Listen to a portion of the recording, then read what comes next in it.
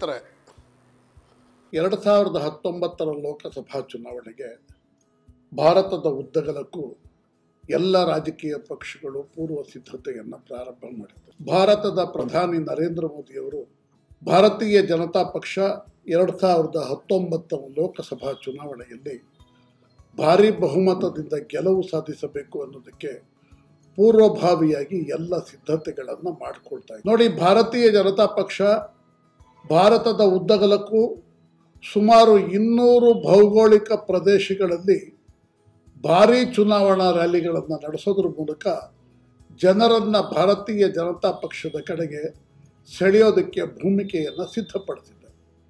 ಇದರ ಜೊತೆಗೆ ವಿರೋಧ ಪಕ್ಷಗಳು ಎರಡು ಸಾವಿರದ ಹತ್ತೊಂಬತ್ತರ ಲೋಕಸಭಾ ಚುನಾವಣೆಯಲ್ಲಿ ಯಾವುದೇ ರೀತಿಯಲ್ಲಿ ಭಾರತೀಯ ಜನತಾ ಪಕ್ಷ ಮತ್ತೆ ಅಧಿಕಾರಕ್ಕೆ ಬರಬಾರದು ಅನ್ನುವ ಏಕೈಕ ಕಾರಣದಿಂದ ಮಹಾಮೈತ್ರಿಯನ್ನ ಮಾಡಿಕೊಂಡಿದ್ದಾರೆ. ಸಾವಿರದ ಒಂಬೈನೂರ ಎಪ್ಪತ್ತೊಂದರ ಲೋಕಸಭಾ ಚುನಾವಣೆಯ ಸಂದರ್ಭದಲ್ಲಿ ಕಾಂಗ್ರೆಸ್ ಪಕ್ಷದ ವಿರುದ್ಧ ಇಂಥದೊಂದು ಮಹಾಮೈತ್ರಿ ಏರ್ಪಟ್ಟು ಆ ಮಹಾಮೈತ್ರಿಯಲ್ಲಿ ಎಸ್ ನಿಜಲಿಂಗಪ್ಪನವರ ನೇತೃತ್ವದ ಸಂಸ್ಥಾ ಕಾಂಗ್ರೆಸ್ ಸಿ ರಾಜಗೋಪಾಲಾಚಾರಿ ಅವರ ನೇತೃತ್ವದ ಸ್ವತಂತ್ರ ಪಕ್ಷ, ಜಯಪ್ರಕಾಶ್ ನಾರಾಯಣ್ ಅವರ ನೇತೃತ್ವದ ಸಮಾಜವಾದಿ ಪಕ್ಷ ಚರಣ್ ಸಿಂಗ್ ಅವರ ನೇತೃತ್ವದ ಭಾರತೀಯ ಕ್ರಾಂತಿ ದಳ ಈ ಎಲ್ಲ ಪಕ್ಷಗಳು ಸಾವಿರದ ಒಂಬೈನೂರ ಎಪ್ಪತ್ತೊಂದರ ಮಹಾಮೈತ್ರಿಯಲ್ಲಿ ಇತ್ತು. ಆದರೆ ಆ ಮಹಾಮೈತ್ರಿ ಚುನಾವಣೆಯಲ್ಲಿ ಸಂಪೂರ್ಣ ವಿಫಲಗೊಂಡು ಇಂದಿರಾ ಗಾಂಧಿಯವರು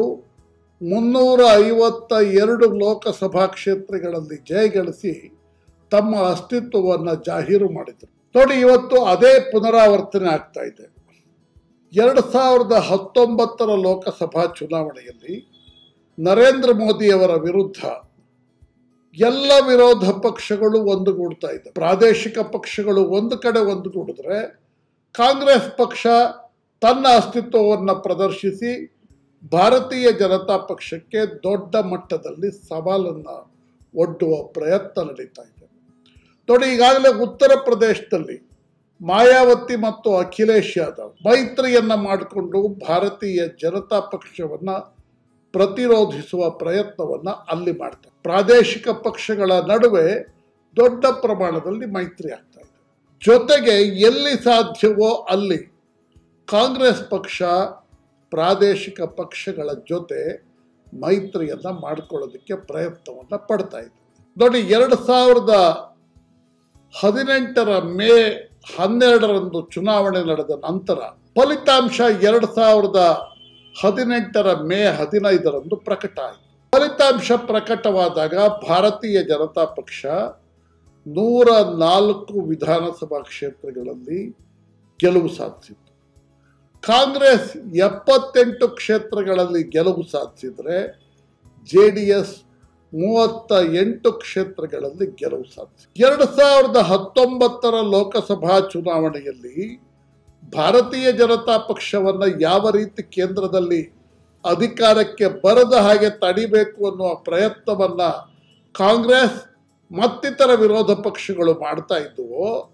ಅದೇ ರೀತಿಯಲ್ಲಿ ಕರ್ನಾಟಕದಲ್ಲಿ ಭಾರತೀಯ ಜನತಾ ಪಕ್ಷ ಯಾವುದೇ ಕಾರಣಕ್ಕೂ ಅಧಿಕಾರ ಸೂತ್ರ ಹಿಡಿಬಾರದು ಅಂದ್ಬಿಟ್ಟು ಜೆ ಡಿ ಎಸ್ ಮತ್ತು ಕಾಂಗ್ರೆಸ್ ಮೈತ್ರಿಯನ್ನು ಮಾಡಿಕೊಂಡು ಇದರಲ್ಲಿ ಕಾಂಗ್ರೆಸ್ ದೊಡ್ಡ ಪ್ರಮಾಣದಲ್ಲಿ ಉತ್ಸಾಹವನ್ನು ತೋರಿಸಿ ಎಪ್ಪತ್ತ ಎಂಟು ಸದಸ್ಯ ಬಲದ ಕಾಂಗ್ರೆಸ್ ಮೂವತ್ತ ಎಂಟು ಸದಸ್ಯ ಬಲದ ಜೆ ಡಿ ಎಸ್ನ ಕುಮಾರಸ್ವಾಮಿಯವರಿಗೆ ಮುಖ್ಯಮಂತ್ರಿ ಪದವಿಯನ್ನು ಬಿಟ್ಟುಕೊಡ್ತು ಅಂದರೆ ಎರಡು ಸಾವಿರದ ಹದಿನೆಂಟರ ಮೇ ತಿಂಗಳಲ್ಲಿ ನಡೆದ ಚುನಾವಣೆಯ ನಂತರ ಬಹುಮತ ಪಡೆಯಲು ಸಾಧ್ಯವಾಗದ ಕಾಂಗ್ರೆಸ್ ಜೆ ಡಿ ಎಸ್ ಜೊತೆ ಮೈತ್ರಿಯನ್ನ ಮಾಡಿಕೊಂಡು ಅಧಿಕಾರದಲ್ಲಿ ಮುಂದುವರೆದಿದೆ.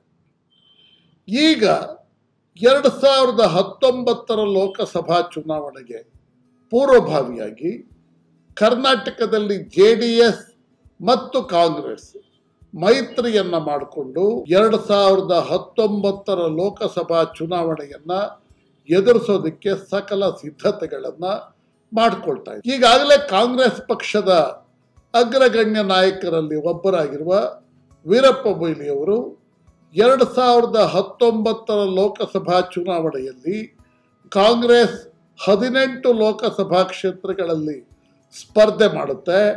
ಜೆ ಡಿ ಎಸ್ಗೆ ಹತ್ತು ಲೋಕಸಭಾ ಕ್ಷೇತ್ರಗಳನ್ನು ಬಿಟ್ಟು ಕೊಡ್ತೀವಿ ಎನ್ನುವಂಥ ಘೋಷಣೆಯನ್ನು ಮಾಡಿದ್ದಾರೆ. ಆದರೆ ಇದು ಸಾಧ್ಯನಾ? ನೋಡಿ, ಜಾತ್ಯತೀತ ಜನತಾದಳ ಅಂದರೆ ಜೆ ಡಿ ಎಸ್, ಉತ್ತರ ಕರ್ನಾಟಕದಲ್ಲಿ ತನ್ನ ನೆಲೆಯನ್ನು ಹೊಂದಿಲ್ಲ ಜೆ ಡಿ ಎಸ್ನ ನೆಲೆ ಇರುವುದು ದಕ್ಷಿಣ ಕರ್ನಾಟಕದಲ್ಲಿ ಮಾತ್ರ. ಎರಡು ಸಾವಿರದ ಹದಿನೆಂಟರ ವಿಧಾನಸಭಾ ಚುನಾವಣೆಯಲ್ಲಿ ಇದು ಸ್ಪಷ್ಟವಾಗಿ ಬಿಂಬಿತ ಆಗಿದೆ. ನೋಡಿ, ಜೆ ಡಿ ಎಸ್ ಹೆಚ್ಚಿನ ಸ್ಥಾನ ಗೆದ್ದದ್ದು ಮೂವತ್ತ ಎಂಟು ಶಾಸಕರ ಬಲದಲ್ಲಿ ಮೂವತ್ತ ಎರಡು ಶಾಸಕರನ್ನ ಜೆ ಡಿ ಎಸ್ ಗೆದ್ದದ್ದು ದಕ್ಷಿಣ ಕರ್ನಾಟಕದ ನಾಲ್ಕೈದು ಜಿಲ್ಲೆಗಳಲ್ಲಿ ಮಾತ್ರ. ಒಕ್ಕಲಿಗರ ಪ್ರಭುತ್ವವಿರುವ ಕೋಲಾರ ಮತ್ತು ಚಿಕ್ಕಬಳ್ಳಾಪುರ ಜಿಲ್ಲೆಗಳಲ್ಲೂ ಜೆ ಡಿ ಎಸ್ ಹೆಚ್ಚು ಸ್ಥಾನವನ್ನು ಗೆಲ್ಲೋದಕ್ಕೆ ಸಾಧ್ಯ ಆಗಲಿಲ್ಲ. ಅಂದರೆ ಜೆ ಡಿ ಎಸ್ ಗೆಲುವು ಸಾಧಿಸಿದ್ದು ಮೈಸೂರು, ಮಂಡ್ಯ, ತುಮಕೂರು, ರಾಮನಗರ, ಹಾಸನ ಬೆಂಗಳೂರು ಗ್ರಾಮಾಂತರ, ಇದಿಷ್ಟು ಜಿಲ್ಲೆಗಳಲ್ಲಿ ಮಾತ್ರ. ಅಂದರೆ ಅದರ ಅರ್ಥ ಏನು ಅಂತಂತಂದ್ರೆ ಜೆ ಡಿ ಎಸ್ ಲೋಕಸಭೆಯಲ್ಲಿ ತನ್ನ ಅಸ್ತಿತ್ವವನ್ನು ಪ್ರದರ್ಶನ ಮಾಡಬೇಕಾದ್ರೆ ದಕ್ಷಿಣ ಕರ್ನಾಟಕದ ಜಿಲ್ಲೆಗಳಲ್ಲಿ ಮಾತ್ರ. ಹಾಗಾಗಿ ಜೆ ಡಿ ಎಸ್ ದಕ್ಷಿಣ ಕರ್ನಾಟಕದ ಬಹುಪಾಲು ಕ್ಷೇತ್ರಗಳನ್ನು ತನಗೆ ಬಿಟ್ಟುಕೊಡಬೇಕು ಅನ್ನುವಂತಹ ಒಂದು ಬೇಡಿಕೆಯನ್ನು ಕಾಂಗ್ರೆಸ್ ಮುಂದೆ ಮಂಡಿಸುವ ಸಾಧ್ಯತೆ ಇದೆ. ನೋಡಿ, ಉದಾಹರಣೆಗೆ ಹೇಳೋದಾದರೆ, ಕೋಲಾರ, ಚಿಕ್ಕಬಳ್ಳಾಪುರ, ಬೆಂಗಳೂರು ಗ್ರಾಮಾಂತರ, ತುಮಕೂರು, ಚಿತ್ರದುರ್ಗ ಈ ಜಿಲ್ಲೆಗಳಲ್ಲಿ ಜೆ ಡಿ ಎಸ್ ತುಂಬ ಶಕ್ತಿಶಾಲಿಯಾಗಿದೆ. ಕೋಲಾರ ಮತ್ತು ಚಿಕ್ಕಬಳ್ಳಾಪುರದಲ್ಲಿ ಹೆಚ್ಚು ಸ್ಥಾನಗಳಲ್ಲಿ ಜೆ ಡಿ ಎಸ್ ಗೆಲ್ಲೋದಕ್ಕೆ ಸಾಧ್ಯ ಆಗದೇ ಇರಬಹುದು. ಆದರೆ ಜೆ ಡಿ ಎಸ್ ಮತ ಬ್ಯಾಂಕಲ್ಲಿ ತುಂಬ ಸ್ಟ್ರಾಂಗ್ ಆಗಿದೆ. ಈ ಹಿನ್ನೆಲೆ ಒಳಗೆ J D S Chikkaballapur, Kolar, Bengaluru ಗ್ರಾಮಾಂತರ, ತುಮಕೂರು, ಚಿತ್ರದುರ್ಗ ಲೋಕಸಭಾ ಕ್ಷೇತ್ರಗಳ ಜೊತೆಗೆ ಮಂಡ್ಯ, ಹಾಸನ, ಮೈಸೂರು ಮತ್ತು ಬೆಂಗಳೂರು ನಾರ್ತ್ ಈ ಕ್ಷೇತ್ರಗಳನ್ನು ತಮಗೆ ಬಿಟ್ಟುಕೊಡ್ಬೇಕು ಅಂತ ಕೇಳ್ತಾರೆ. ಅಂಥ ಪರಿಸ್ಥಿತಿ ಒಳಗೆ ಕಾಂಗ್ರೆಸ್ ಪಕ್ಷ ಈ ಎಲ್ಲ ಕ್ಷೇತ್ರಗಳನ್ನು ಜೆ ಡಿ ಎಸ್ಗೆ ಬಿಟ್ಟುಕೊಡೋದಕ್ಕೆ ಸಾಧ್ಯನಾ? ನೋಡಿ ಉದಾಹರಣೆಗೆ, ಕೋಲಾರ ಲೋಕಸಭಾ ಕ್ಷೇತ್ರದಲ್ಲಿ ಕೆ ಎಚ್ ಮುನಿಯಪ್ಪ ಐದಾರು ಬಾರಿ ಲೋಕಸಭಾ ಸದಸ್ಯರಾಗಿದ್ದಾರೆ. ಚಿಕ್ಕಬಳ್ಳಾಪುರ ಕ್ಷೇತ್ರದಲ್ಲಿ ಎರಡು ಬಾರಿ ವೀರಪ್ಪ ಮೊಯ್ಲಿಯವರು ಲೋಕಸಭಾ ಸದಸ್ಯರಾಗಿದ್ದಾರೆ. ಇನ್ನು ತುಮಕೂರು, ಚಿತ್ರದುರ್ಗ, ಈ ಜಿಲ್ಲೆಗಳಲ್ಲಿ, ಈ ಲೋಕಸಭಾ ಕ್ಷೇತ್ರಗಳಲ್ಲಿ ಕ್ರಮವಾಗಿ ಮುದ್ದ ಹನುಮೇಗೌಡ ಮತ್ತು ಚಂದ್ರಪ್ಪ ಲೋಕಸಭಾ ಸದಸ್ಯರಾಗಿದ್ದಾರೆ. ಇನ್ನು ಬೆಂಗಳೂರು ಗ್ರಾಮಾಂತರ ಲೋಕಸಭಾ ಕ್ಷೇತ್ರ, ಇದೊಂದು ಪ್ರತಿಷ್ಠಿತ ಕ್ಷೇತ್ರ. ಇಲ್ಲಿ ದಕ್ಷಿಣ ಕರ್ನಾಟಕದ ಮತ್ತೊಬ್ಬ ಒಕ್ಕಲಿಗ ನಾಯಕ ಡಿ ಕೆ ಶಿವಕುಮಾರ್ ಅವರ ಸೋದರ ಡಿ ಕೆ ಸುರೇಶ್ ಕಾಂಗ್ರೆಸ್ ಪಕ್ಷದಿಂದ ಎರಡು ಮೂರು ಬಾರಿ ಗೆಲುವು ಸಾಧಿಸಿದರು. ಈ ಲೋಕಸಭಾ ಕ್ಷೇತ್ರಗಳನ್ನು ಕಾಂಗ್ರೆಸ್, ಜೆ ಡಿ ಎಸ್ಗೆ ಬಿಟ್ಟುಕೊಡುತ್ತಾ ಯಾವುದೇ ಕಾರಣಕ್ಕೆ ಈ ಐದು ಲೋಕಸಭಾ ಕ್ಷೇತ್ರಗಳನ್ನು ಕಾಂಗ್ರೆಸ್, ಜೆ ಡಿ ಎಸ್ಗೆ ಬಿಟ್ಕೊಡೋದಕ್ಕೆ ಸಾಧ್ಯ ಆಗಲ್ಲ. ಅಂದರೆ ದಕ್ಷಿಣ ಕರ್ನಾಟಕದಲ್ಲಿ ಜೆ ಡಿ ಎಸ್ ಕಾಂಗ್ರೆಸ್ನ ಯಾವುದೇ ಒತ್ತಡಕ್ಕೆ ನಿಲುಕದೆ ಸ್ಪರ್ಧೆ ಮಾಡೋದಕ್ಕೆ ಸಾಧ್ಯ ಇರೋ ಕ್ಷೇತ್ರಗಳು ಅಂದರೆ ಮಂಡ್ಯ, ಹಾಸನ, ಮೈಸೂರು, ಬೆಂಗಳೂರು, ಉತ್ತರ ಈ ನಾಲ್ಕು ಲೋಕಸಭಾ ಕ್ಷೇತ್ರಗಳು ಮಾತ್ರ. ಈ ನಾಲ್ಕು ಲೋಕಸಭಾ ಕ್ಷೇತ್ರಗಳಲ್ಲಿ ಮಾತ್ರ ಟಿಕೆಟ್ ಕೊಟ್ಟರೆ ಜೆ ಡಿ ಎಸ್ ಒಪ್ಪುತ್ತಾ ಒಪ್ಪೋದಿಲ್ಲ. ಅವರಿಗೆ ಹತ್ತು ಲೋಕಸಭಾ ಕ್ಷೇತ್ರ ಬೇಕು.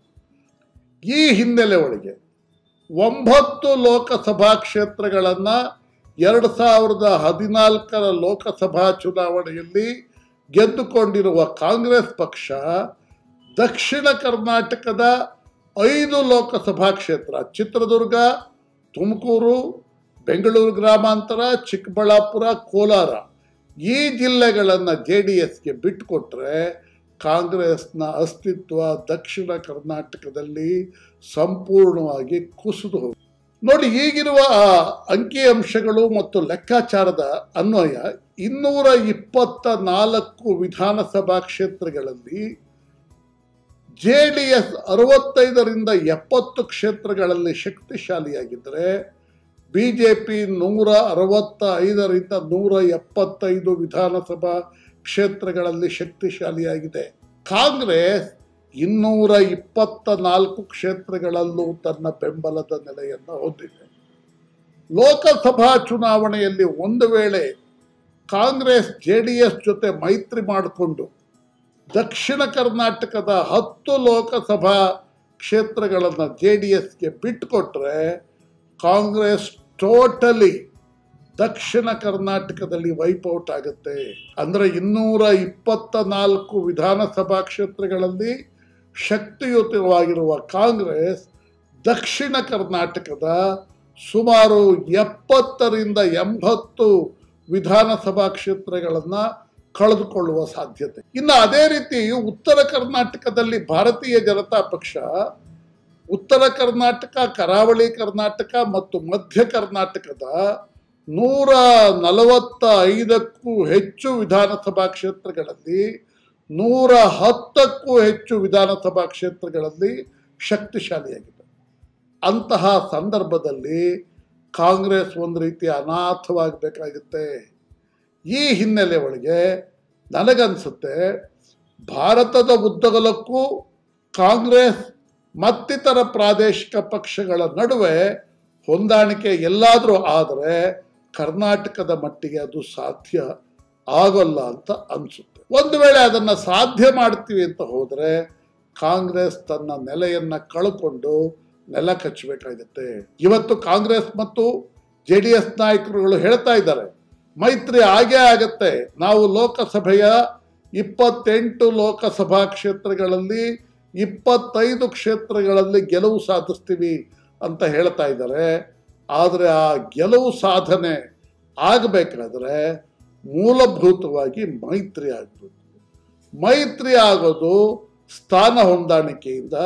ಆದರೆ ಆ ಸ್ಥಾನ ಹೊಂದಾಣಿಕೆ ಆಗುತ್ತಾ ಅನ್ನೋದೇ ಮಿಲಿಯನ್ ಡಾಲರ್ ಪ್ರಶ್ನೆ. ಈ ಹಿನ್ನೆಲೆ ಒಳಗೆ ಎರಡು ಸಾವಿರದ ಹತ್ತೊಂಬತ್ತರ ಲೋಕಸಭಾ ಚುನಾವಣೆಯಲ್ಲಿ ನನಗನ್ಸುತ್ತೆ ಜೆ ಮತ್ತು ಕಾಂಗ್ರೆಸ್ ನಡುವೆ ಮೈತ್ರಿ ಸಾಧ್ಯವೇ ಇಲ್ಲ.